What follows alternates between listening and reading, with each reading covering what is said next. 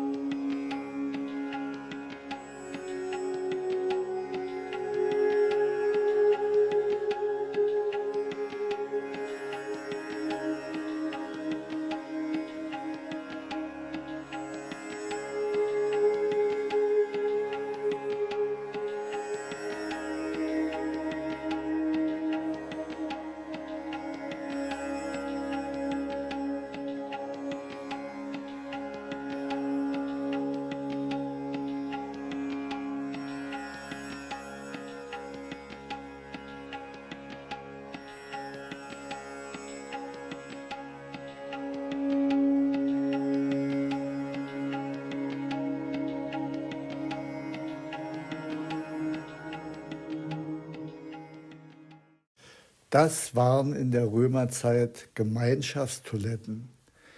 Hier wurde auch Konservation gepflegt. Die Ausscheidung wurde vom fließenden Wasser gleich weggespült.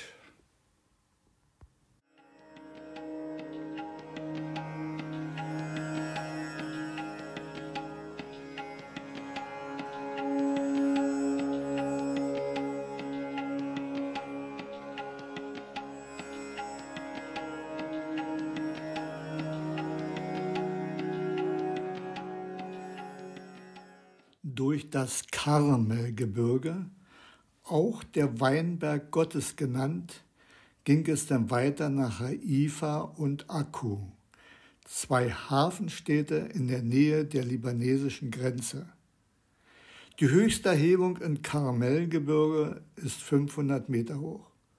Haifa ist mit rund 270.000 Einwohnern die drittgrößte Stadt Israel und liegt am Hang des Karmelgebirges und erstreckt sich vom Mittelmeer bis zu einer Höhe von über 400 Meter. Das Wahrzeichen der Stadt ist hier der Boai-Schrein, der mit seiner goldenen Kuppel majestätisch in den persischen Garten thront.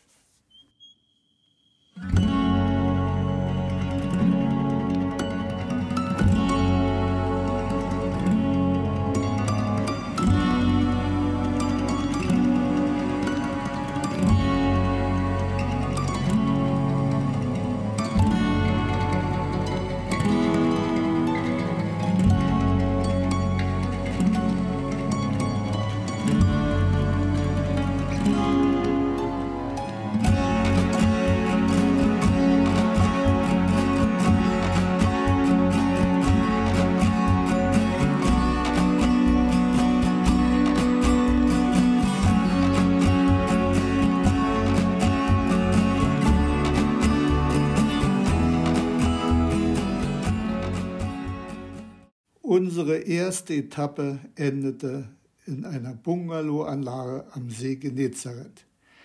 Sie gehörte einem Kibbutz. Ein Kibbutz ist ein ländliches Siedlungskollektiv in Israel nach kommunistischen Ideen. Es gibt kein Privateigentum. Die Ansiedlungen sind allerdings rückläufig.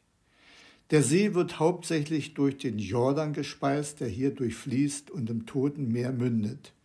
Am Nordrand des Sees Genezareth befindet sich der Berg der Seligpreisungen. Nach christlichen Überlieferungen soll Jesus hier seine Bergpredigt gehalten haben. Von hier aus hat man wunderbaren Ausblick auf den See und auf die Golanhöhen. Unterhalb des Berges befindet sich eine Kapelle. An dieser Stelle hat Jesus nach biblischer Überlieferung Petrus beauftragt, die Führung der Christen zu übernehmen.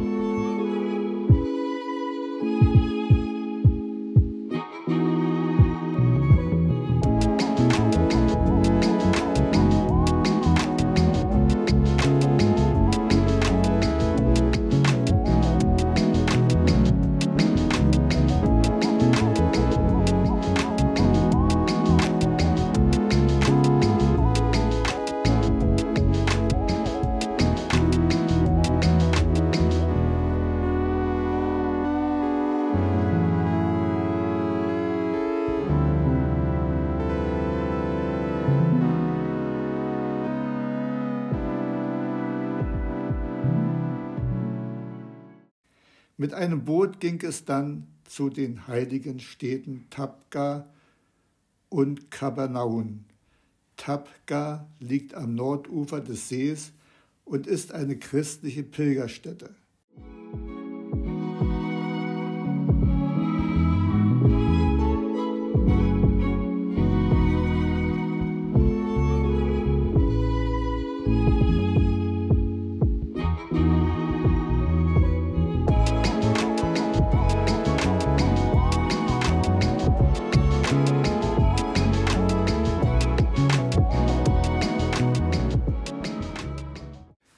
Einer Gaststätte am See haben wir einen Petrusfisch gegessen. Diesen Fisch soll es angeblich nur im See Genezareth geben.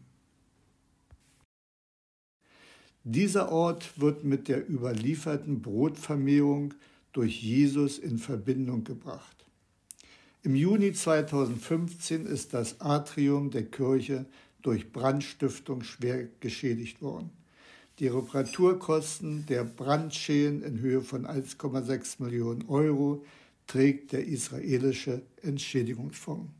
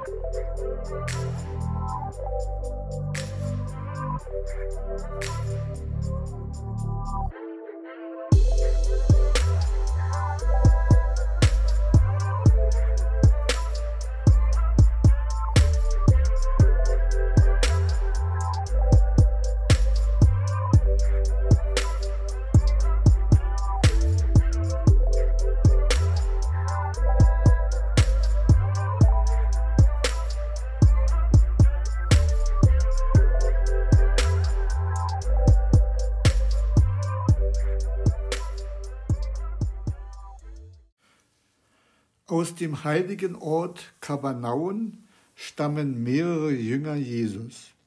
Hier befand sich auch das Haus von Petrus. Darüber befindet sich jetzt eine Kirche. Jesus hat hier mehrere Jahre gelebt.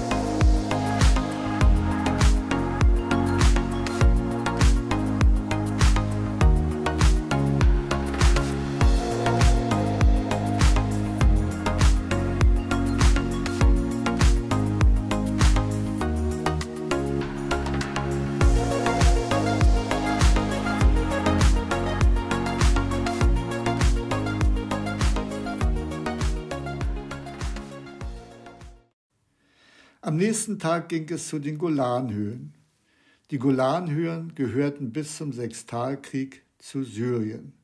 Man hat hier einen schönen Blick über den See Genezareth, der ca. 250 Meter unter dem Meeresspiegel liegt, bis weit nach Israel. Vor dem Sechstalkrieg waren die Golanhöhen syrisches Militärgebiet. Auf einer Anhöhe befindet sich eine alte syrische Befestigungsanlage. An einer Ecke hatten sich zwei UNO-Beobachter postiert. Man konnte tief nach Syrien und nach den Libanon reinblicken. Aus Syrien konnte man Geschützdonner hören. Syrien befand sich zu dieser Zeit im Bürgerkrieg. Musik